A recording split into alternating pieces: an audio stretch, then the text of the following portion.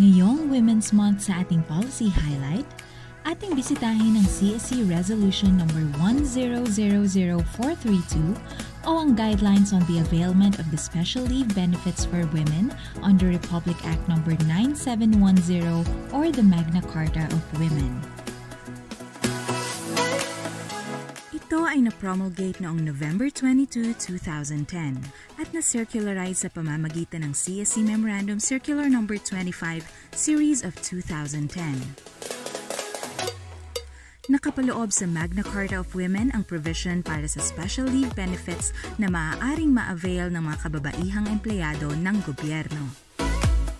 Sa nasabing batas, naatasan din ng Civil Service Commission upang gumawa ng guidelines para sa special leave benefits.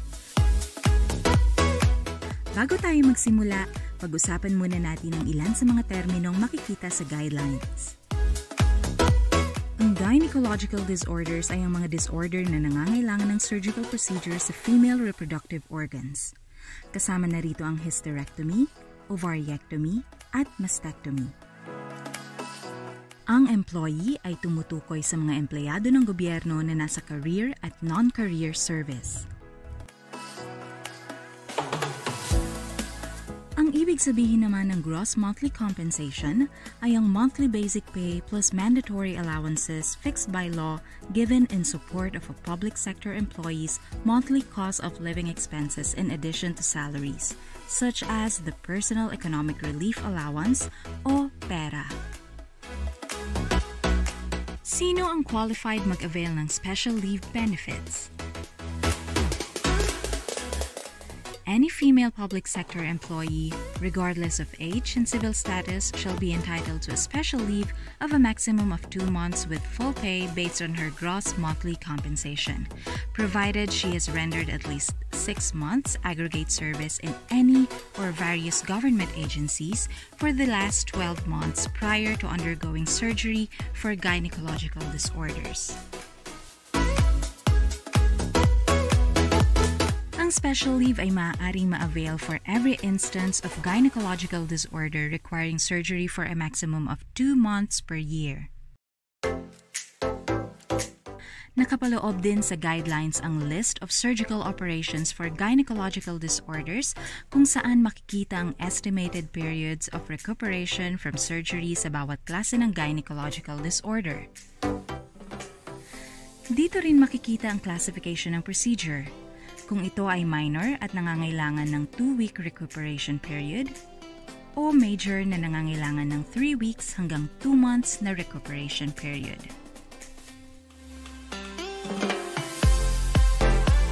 Kung ang surgical operation naman ay wala sa list na ito, maaari pa rin itong i-avail subject to certification of a competent medical authority and submission of other requirements.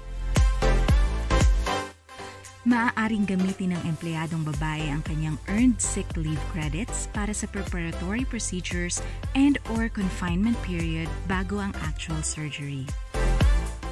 Kung susobra naman sa 2 months ang kakailanganing recuperation period, maaari ding gamitin ng empleyadong babae ang kanyang earned sick leave credits.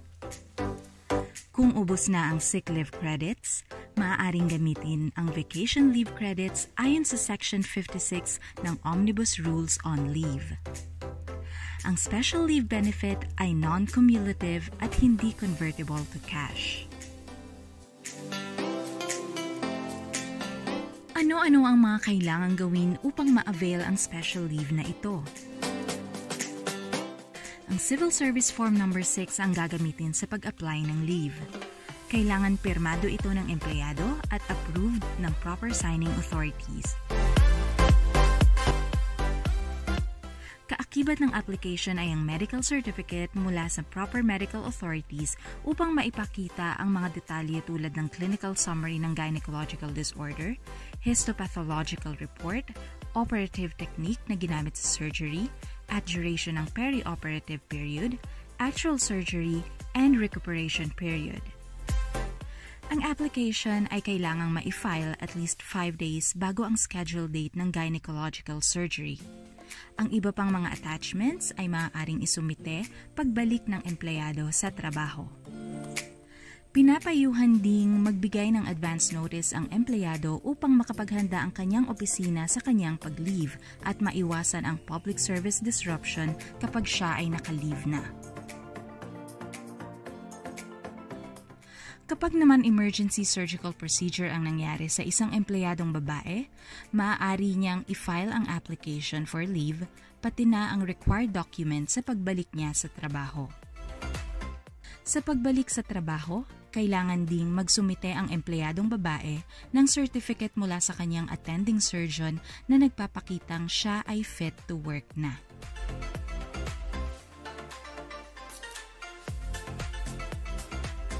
Base sa guidelines, ang agency heads ang titingin kung napapatupad ng maayos ang special leave benefit guidelines na pinapangalagaan ang karapatan ng mga kababaihan sa reproductive health care.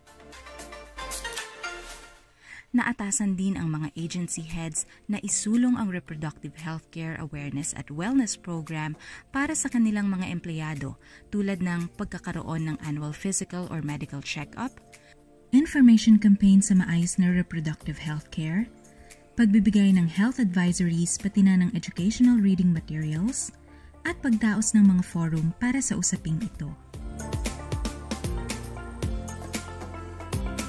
Retroactive ang effectivity ng CSC Resolution number no. 1000432 sa effectivity date ng Magna Carta of Women. Maaaring maibalik ang leave credits ng qualified na empleyadong babae na nagkaroon ng surgery dahil sa gynecological disorder matapos ang effectivity date ng Magna Carta of Women o bago maging effective ang CSC Resolution number no. 1000432 maaari rin silang mabigyan ng appropriate gross compensation. Ang mga guidelines na ito ay naglalayong mapangalagaan ang karapatan ng mga kababaihang empleyado at ang kanilang reproductive health. Isa lamang ito sa mga HR policies na dinisenyo para sa mga special needs ng ating mga kababaihan at kalalakihan sa serbisyo sibil. Ngayong Marso, binabati ng Civil Service Commission ang lahat ng ating mga kababaihan na patuloy na naglilingkod sa bayan. Mabuhay kayo! May mga katanungan tungkol sa CSC Resolution number no. 1000432, maaaring mag-email sa hrpso at csc.gov.ph. Maaari ding tumawag, mag-text, o mag-email sa contact center ng bayan para sa inyong mga reports, complaints, or suggestions. See you on our next policy highlight.